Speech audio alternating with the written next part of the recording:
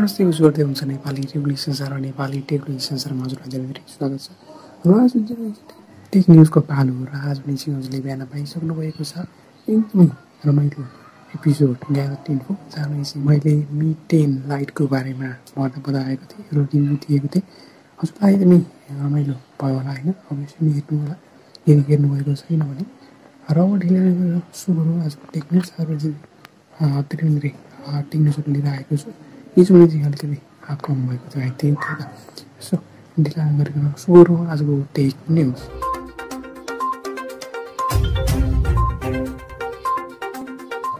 पहिलो tech news रहेको छ मी साउबाट मी टेन इन्डियामा मार्च एटमा लन्च हुन गइरहेको छ।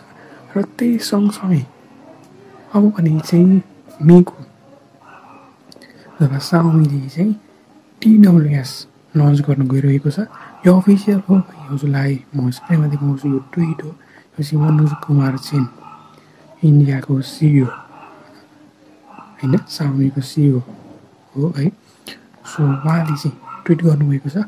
चाँडै नै अब यहाँ तिन दिनपछि होइन आउने नै छ ओके अर्को न्युज रहेको छ लेनेभोबाट Lenovo legend gaming phone tip भएको छ जुन चाहिँ one forty four hertz refresh rate र टु युएसबी टाइप सिपोर्ट आउने भएको छ उसलाई हामी स्क्रिनमा देखाउँछु यसको पनि फोटो आएको छ है त। सो अर्को रहेको छ वान प्लस एट प्रोबाट है यस युजल स्क्रिन स्क्रिन के आएको थियो र त्यो पनि अझैसम्म फिक्स भएको छैन। र उनी चाहिँ यहाँ Oxygen OS ten point five point सिक्सको update roll out गरिएको छ जहाँ चाहिँ क्यामेरा फिक्सेस गरिएको छ। सो राम्रै हुन्छ होला अब चाहिँ त।